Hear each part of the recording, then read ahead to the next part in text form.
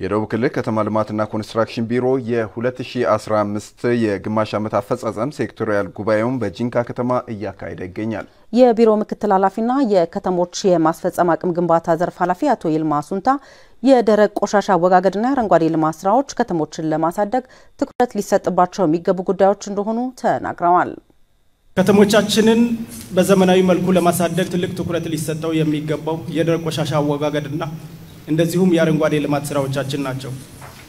ካለፉት ዓመታት ጋር በንጽጽር ሲታይ ለውጥ እየታየባቸው ያሉ ተግባራት ቢሆኑም የተቀመጠውን የአሰራር ስርዓት የወጡ የሕግ ማዕቀፎችን በአግባቡ ተጠቅሞ ይህን ስራ ወደ መሬት ከማውረድ አንጻርና ዜጎች በዚህ ዙሪያ ከህዝብ ተሳትፎ አንስቶ ስርዓቱን ተከትሎ ማህበራትን አደራጅቶ በአግባቡ ከማሰማራት የስራ ዕድል ከመፍጠርና በዚህ ሂደት ገቢንም ከመሰብሰብ አንጻር ውስንነት የሚስተዋልበት ተግባር ነው። ከባለድርሻ አካላት ጋር ከዚህ አንጻር ተቀናይቶ መስራት የሚገባቸው ጉዳዮች አሁንም በተወሰኑ ከተሞች ለውጦች እየታዩ ቢሆንም አብዛኛው አካባቢ ላይ ትኩረት ያልተሰጠው ተግባር ስለሆነ ይህን በቀጣይነት ልናርምና ፈጥነን ወደ ተግባር መግባት ይጠበቅብናል።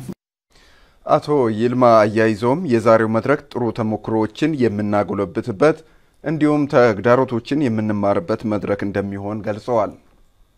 በዛሬው ዕለት የምናደርገው የሴክተራችን የስድስት ወር የዕቅድ አፈጻጸም ግምገማ በበቂው መክረንበት በተለይም በክትትልና ድጋፍ እየተገኙ ምርጥ ተሞክሮዎችና ተግዳሮቶችንም የምንማርባቸውና እነዚህን በቀጣይ የምናረምባቸው እንደሚሆን ያለኝን ሙሉ እምነት እየገለጽኩ ጉባኤውን ለመታደም የመጣችሁትን ሁላችሁንም ላመሰግን እፈልጋለሁ።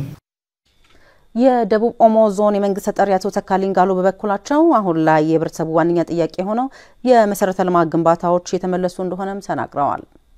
በኮንስትራክሽን ዘርፍ የሚከናወኑ ተግባራት ማህበራዊ አገልግሎትን ለማሟላት የሚያግዙ ትምህርት ቤቶችን፣ ጤና ጣቢያዎችን፣ ኮሌጆችና ሌሎች ተቋማት ለህዝቡ ጥያቄ ምላሽ ለመስጠት እጅግ አስፈላጊ እንደሆኑ ይታወቃል። ነገር ግን ከቅርብ ጊዜያት ወዲህ የግንባታ መጓታት አሳሳቢ ደረጃ ላይ እያደረሰ ይገኛል።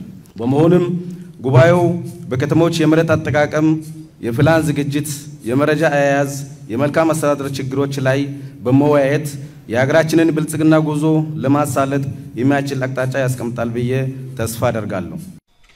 ሆኖም ከቅርብ ጊዜያት ወዲህ የግንባታ መጓታት አሳሳቢ ደረጃ ላይ እየደረሰ እንደሆነም አስታውሰዋል። ዘገባው የባልደረባችን ሀብታሙ እንግዳው ነው።